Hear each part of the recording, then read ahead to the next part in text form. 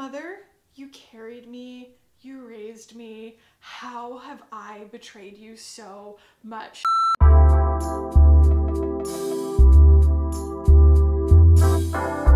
What is up guys? Welcome back. So today we are going to be going over my skincare routine, my current skincare routine as promised. This is gonna be my morning routine and my evening routine, and this is coming out of my second trimester. I am rounding out my 27th week currently of pregnancy, and so I did a check-in right at the end of my first trimester, which was actually my like little low-key announcement video that I was pregnant.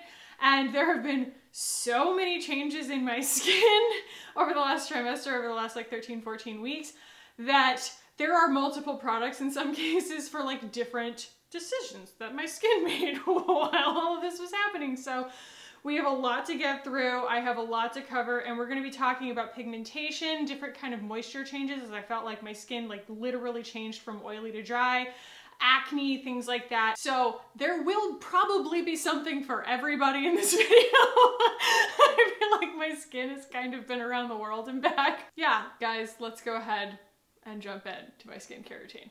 And I will make this quick because we have a lot of things that I want to talk about today.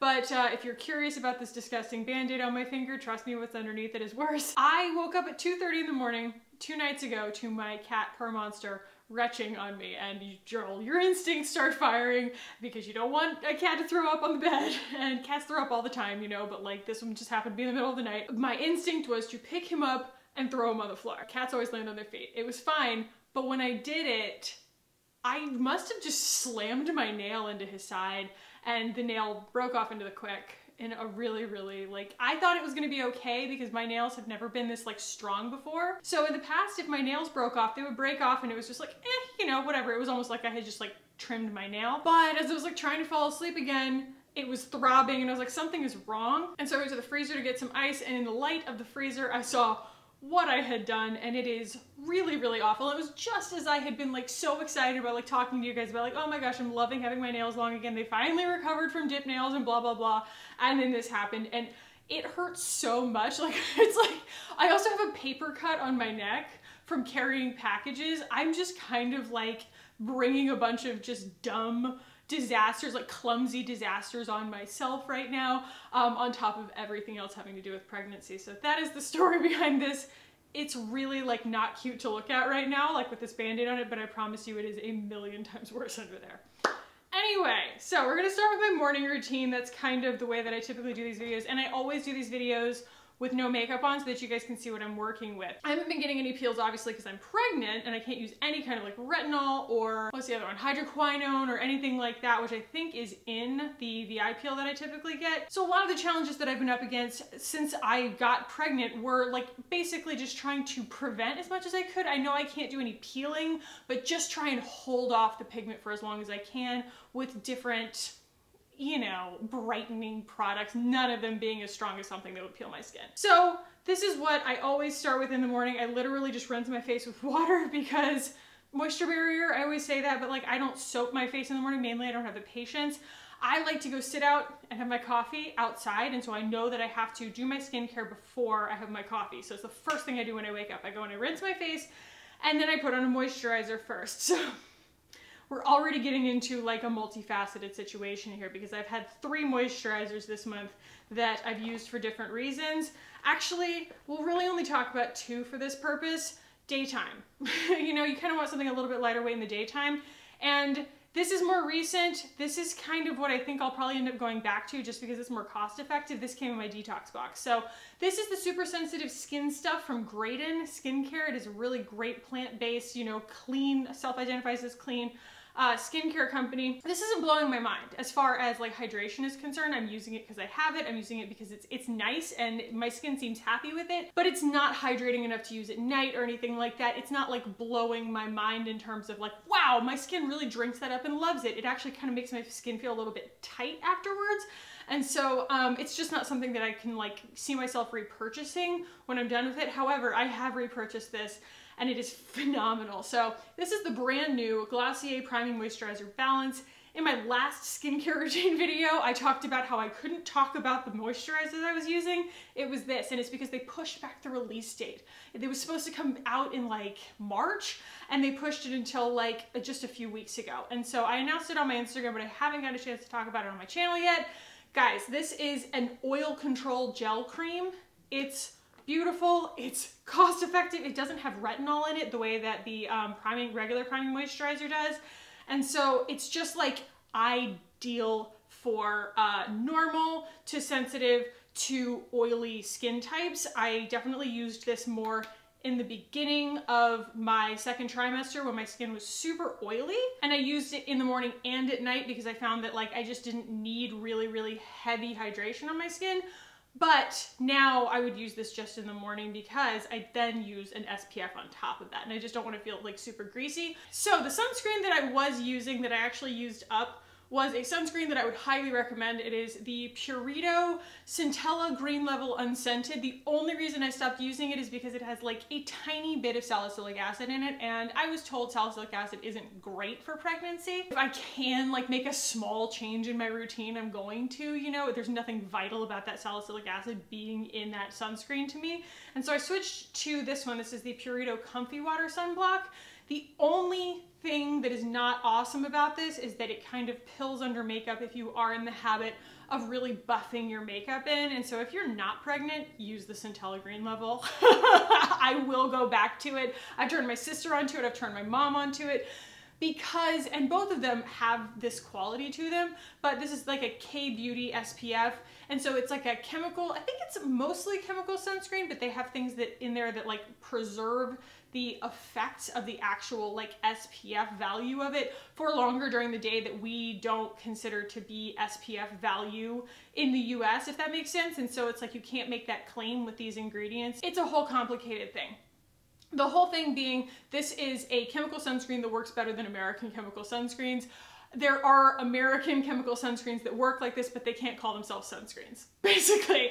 And so uh, this is super, super awesome. I like it a lot, but I just have to be careful when I'm putting my makeup on, you know, because it will just, like if you're aggressive, it'll just peel up. So I would go with this Centella Green level if you're not pregnant. This is just kind of a temporary fix. And then that's my morning. That's my morning, no big deal. It's literally two products. It's one of those moisturizers and then an SPF. And then I just kind of go about my day, do my makeup. Maybe I don't do my makeup, but it protects me from like blue light, even if I'm just inside all day, which I mostly am because it's a million degrees outside. I'm sorry that I'm talking so fast.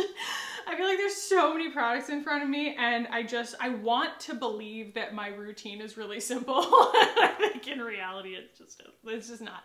So uh, the main thing is I've been getting a lot of cool like skincare in the mail lately from a bunch of different really cool companies that I've always wanted to try and so I've just been crashing through trying a bunch of products and a lot of them are just really good and so there have been like a lot of things that I've used in the last like you know 13 14 weeks I did just get a big PR package from Versed Skincare and then I also just got this in the mail that I haven't tried yet but I thought it was worth mentioning uh, Good Molecules just came out with their colorate uh, let's try that again discoloration correcting serum formulated with cetyl tranexamate mesylate to target discoloration and promote an, an even skin tone. My biochemist out there can let me know what the heck that is. I don't know what that is, but the, uh, the thing that they're really introducing here is that they are actually giving away their formulas. Like they have the all the percentages of everything on the side of their box. They're being complete, like more transparent than I have ever seen any other company be. And uh, I don't know, maybe other companies do this, but I think that this is pretty groundbreaking. Very, very cool. So um, yeah, good on Good Molecules, a very affordable company. I've not tried this yet, but I heard it is fantastic. Okay, night routine. So the first thing that I do if I've worn makeup that day is I take off my makeup. I use the Good Molecules Instant Cleansing Balm. This is 15 dollars. This is a very cost-effective uh, cleansing balm that works really, really well. It travels really well. It actually does what it says it's going to do. It does actually take your makeup off. It does actually go water soluble and rinse into a milk. There are a lot of them out there that say that they're going to. I am not about to put a hot towel on my face and soak my makeup off and get a towel dirty every single time I take my makeup off. That's just not reasonable to me. And then to have to scrub an oily product off of my face, there are way too many of them out there that claim to be cleansing balms when really they are just balms.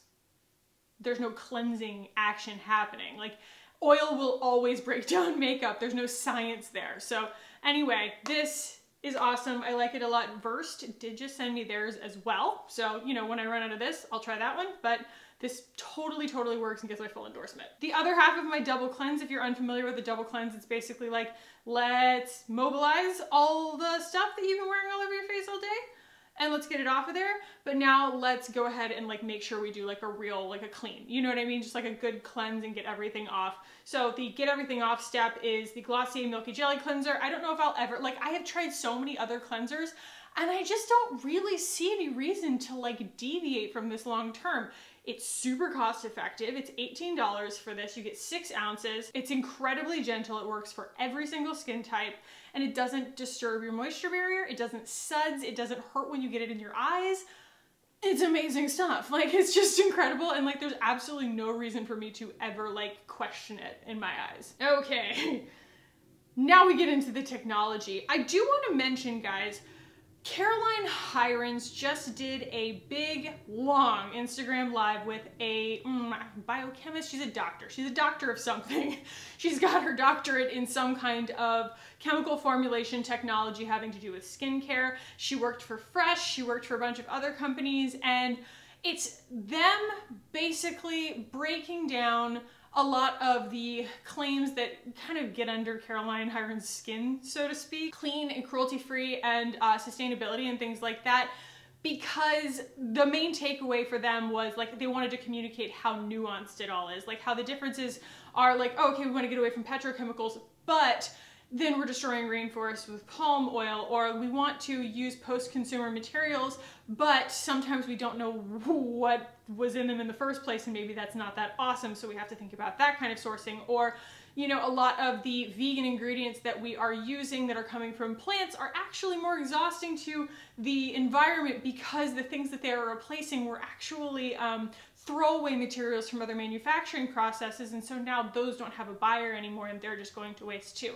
It is extremely educational. Like I found it to be very, very good and I highly recommend watching it. It didn't really change my stance on anything because you guys know I am a big fan of nuance. I'm a big fan of things not being super black and white.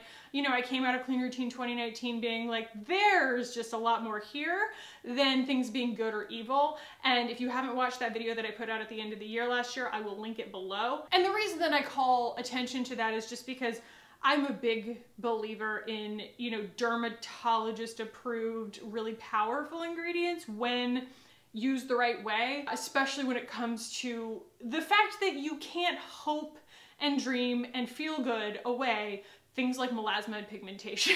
you just can't. Doesn't matter how good the ingredients make you feel in your soul, they're not going to fade the pigmentation that you don't want on your face. And when I say pigmentation, I mean things like melasma. I mean sun damage. I do not mean melanin that is like naturally occurring in people's skin. Don't bleach your skin. That's not the point. The point is I have an ever growing melasma mustache and I just freckle and pigment really, really easily.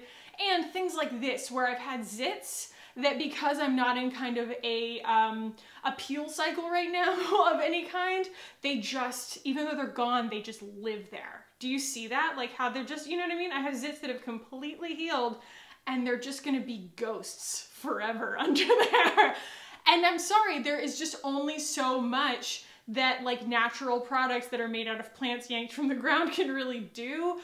The lab made ingredients are the things that are going to actually solve that. And I will almost always recommend starting at your dermatologist because it's where you're going to see results. They're going to give you products that A, they will instruct you on how to use safely, and B, they're gonna, I mean, for all the money that we pour into the feel good of different products for different buzz ingredients, you go to your dermatologist, girl, you're gonna see results. It's going to be expensive, but you're gonna get guaranteed results and like, I'm here for results. That said, after I do my double cleanse, the first thing that I have been putting on my face has been this. So this is the Full Moon Serum from Graydon, and I actually really like this. It has I believe it's called moth bean extract in it, which is like a semi-retinoid, but it's definitely not a retinol.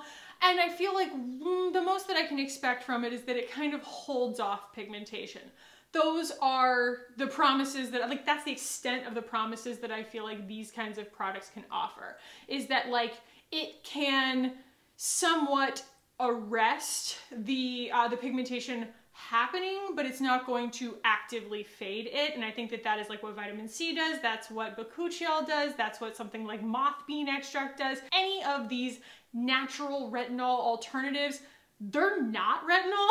I mean, you hear Caroline Hirons, who is not my personal hero, guys. Don't don't like you know uh, take this as like a full throated endorsement for her. I think she's kind of a bully a lot of times. like she comes for brands for like no, seemingly no reason a lot of the time, but.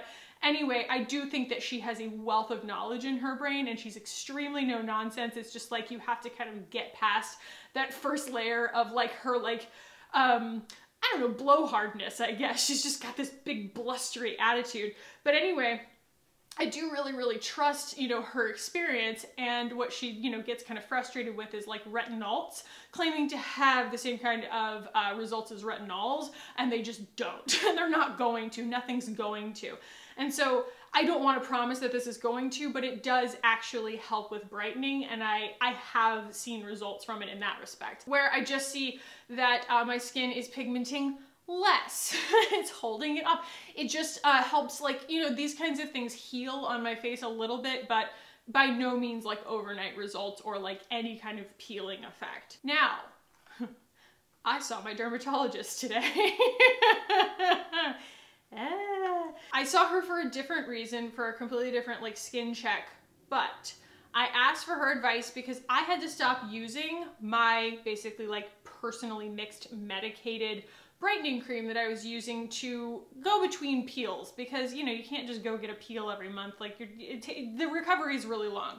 And so um, I got a lot of really great results from using the last version of this that I had. This is the Reviage Brightening Cream, okay? you can't, they don't even have a website. like you can Google it and see a picture of the package, but like they don't even have a way of buying this online. You can only get it at a dermatologist. And on its own, it has lactic acid and niacinamide and I don't know, other things that I don't quite understand that I'm sure are fantastic.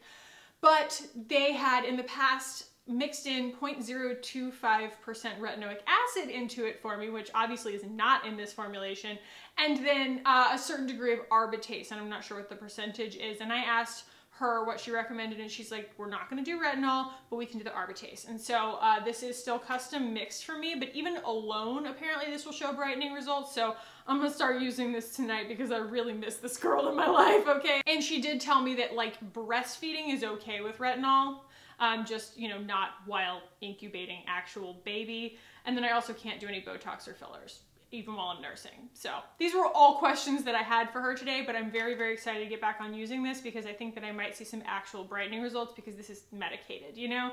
And I got her actual approval to use this. V excited. I'm so out of breath, you guys. Oh, I'm so out of breath. it's like, uh, oh my God. Also, I wanted to share this little anecdote. My mom, who I bought her a her first chemical peel for Christmas, and she really, really liked it, but obviously chemical peels have to come you know, in a series. I think that I saw amazing results the first time, but I was also like 30 when I got my first one, or maybe 31. And my mom is 63 and she's like, girl, they're just more on my skin. I've got 30 more years on you. It's gonna take more than one peel. And I'm like, okay. So she did see results, but like just not really enough for her. And so she went to her dermatologist and her dermatologist prescribed her tretinoin, you know what I mean? Like an actual like retin-A tube that's also 0.025% uh, retinoic acid, which is I, I might be the strongest you can do. I'm not sure. I'm not sure. But she was not really doing it for like cosmetic reasons. She's doing it because she has this like crazy, like weird uh, almost like KP on her skin, this like weird um, texture, and they're like little sand granules under her skin. And so the doctor was like, look, retinol's the only thing that's gonna solve this. And I was like, I'm not a professional, but I must agree. I believe that retinol solves almost everything. And so anyway, talking to her on the phone yesterday, and um, she's telling me about her skincare routine.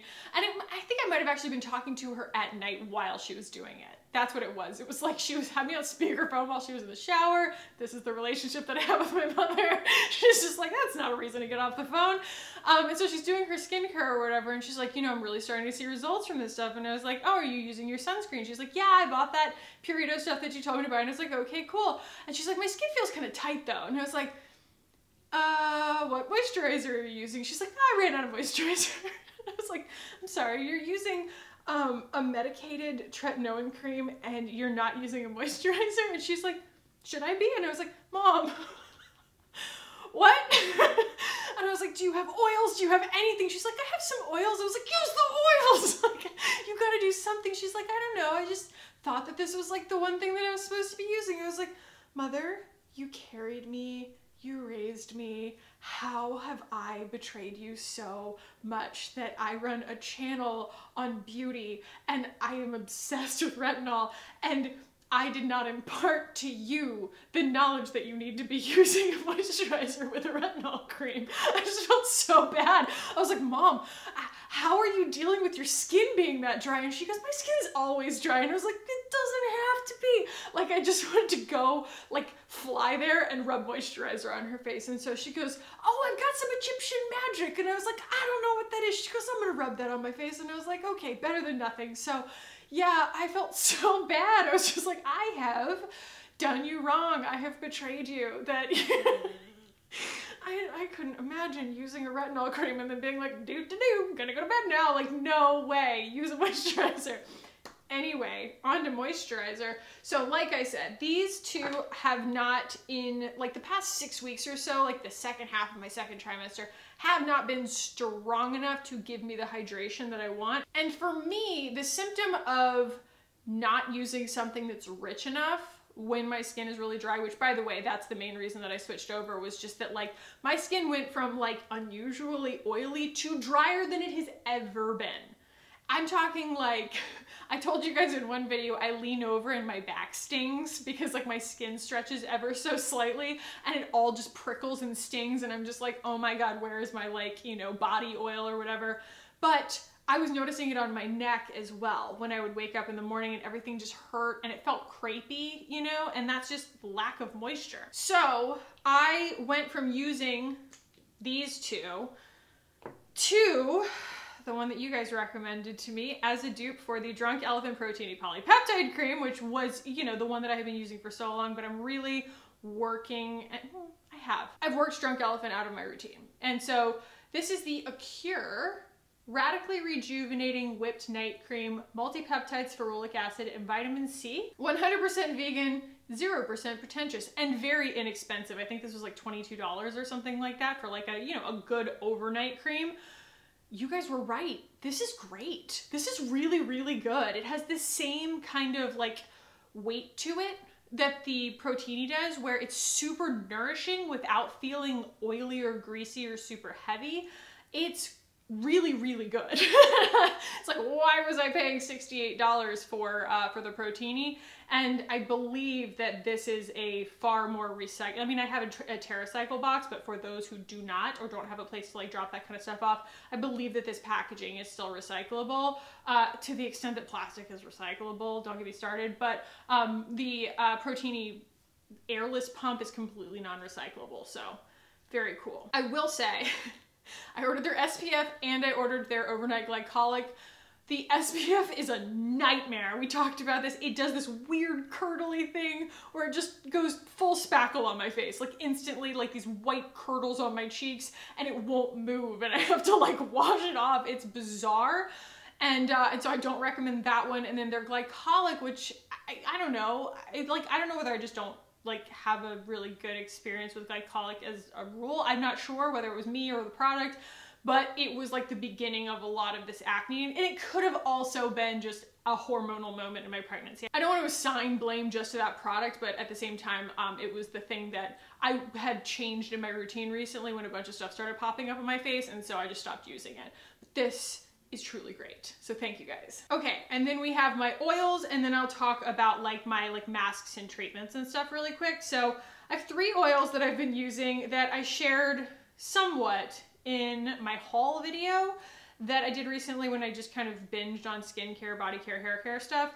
But um, this is the OSEA Essential Hydrating Oil. This was really good again for when my skin was not super dry. It's not enough for very dry skin. It doesn't have that really like unctuous, luxurious, like glow thing to it. It's more, I feel like a balancing oil for people who don't have like tragically dry skin the way that I do. But it does smell really nice, which is definitely not supposed to be a selling point of any skincare product, but it does happen to smell really nice.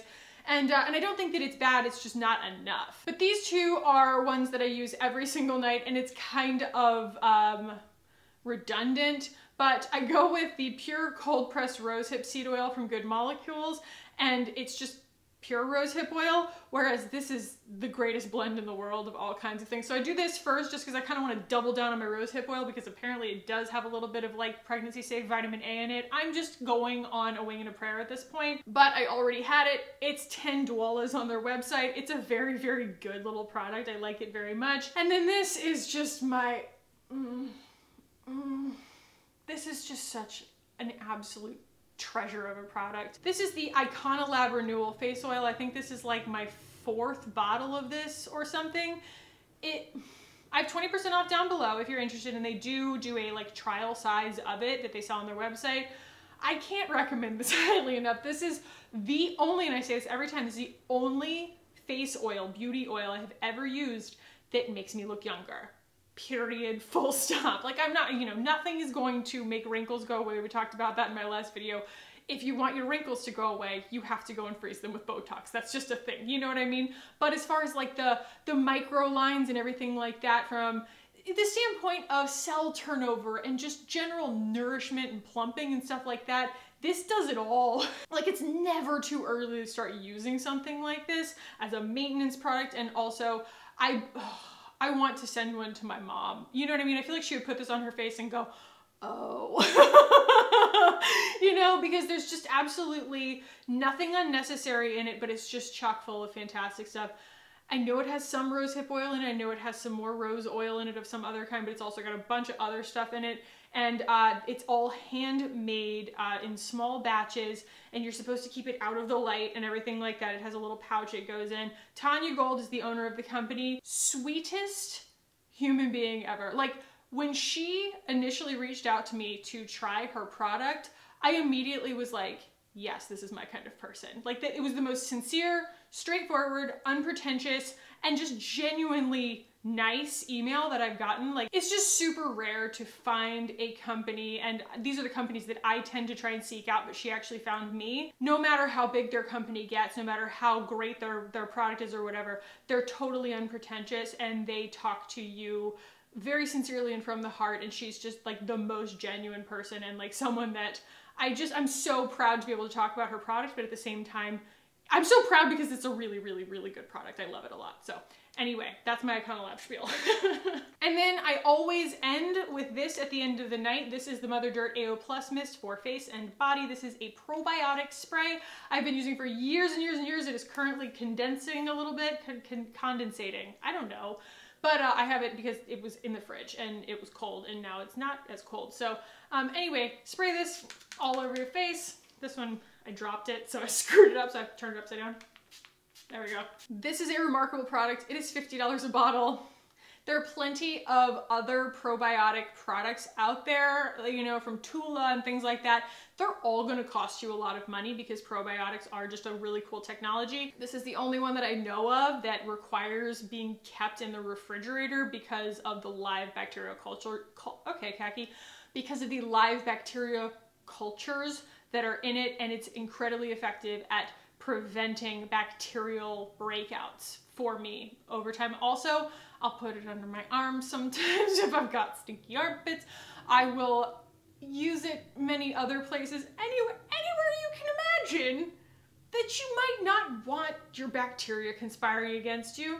This is a great product for that. So athletes, summertime, sweating, just, you know, let your mind wander. Let's talk about my kind of like not every single night treatments that I do for the specific reasons that I do them we will talk first about congestion. Congestion in my pores. I have found, especially during pregnancy, when I can't use anything that's helping with cell turnover, like in any aggressive way, that sometimes it's time to bring in the enzymes, you know? And I've actually been trying out one from Tracie Martyn that they just sent me, but like the jury's out on it, but it's really, really nice. Like it's it's this like turquoise mask. It's it's lovely. But this is one that I can definitely, you know, put my stamp of approval on. Plus, good molecules. It's $16. It's super cost effective. So this is the pineapple exfoliating powder. You mix it with water in the palm of your hand. You rub it on your face. It makes this really nice frothy milk. And I only use this when I'm starting to notice like, you know, blackheads kind of, or just clogged pores, you know, congestion around, you know, the kind of tight spots, like in my nostril area or like around my chin and stuff, spots that I tend to touch too much or food touches or whatever. They just tend to be kind of hormonally congested. And I find that this really helps to decongest. And again, I'm not a big fan of like a physical exfoliant, but this does not have anything in it that is meant to actually be scratchy. It just happens to be a powder.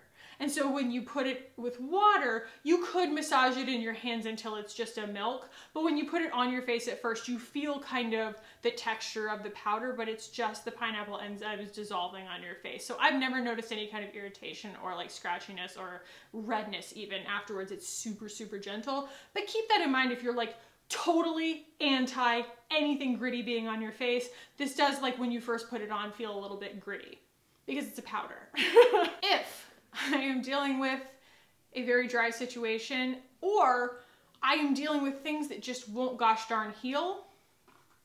I talk about that. I've been talking about this since it came out. It came out almost two years ago. This is the Thrive Causemetics Overnight Sensation Brightening Sleep Mask.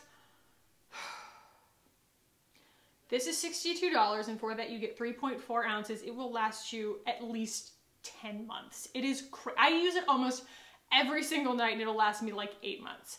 It is amazing stuff. You don't need very much because it is sticky on your skin and so you know if you use a lot you'll really notice it but like you don't need to use a lot to get a lot out of it and it is like the only product that I use that can just like rescue my skin overnight where you know I have scabs I've picked maybe or that like crepey neck thing I was talking about, this genuinely actually does the trick of like, it's, it's chock full of tons and tons and tons of really potent ingredients that just serve to nourish. You know, it's like brightening, it's nourishing, your skin just drinks it up. And I have never once heard from one of you guys that you bought this and were disappointed by it.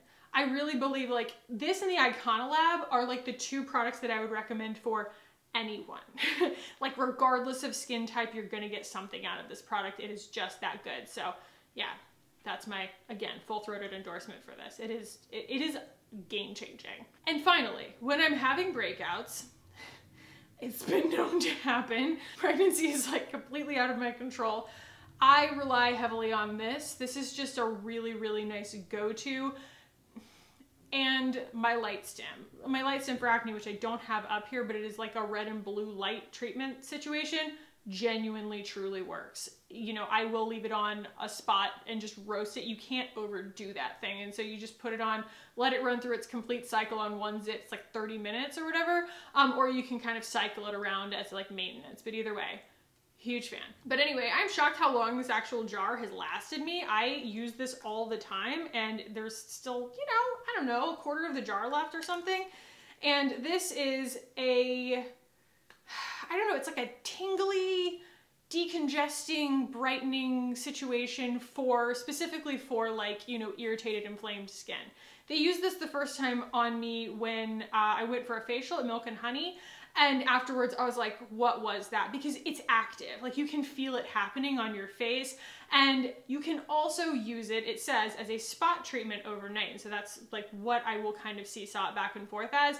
I will get out of the shower and if I'm having breakouts and stuff like that, it's actually just really, really nice to put this on. Feel that tingle, let it dry and, you know, and rinse it off and like your skin just feels awesome afterwards. There's no grittiness to this. It doesn't actually have any sort of like scrubby exfoliating properties to it or anything. But it also, I think, has some tea tree oil in it and that's also contributing to that like antiseptic tingle, which is just really, really lovely. It does a really, really good job. And again, a very gentle overnight spot treatment.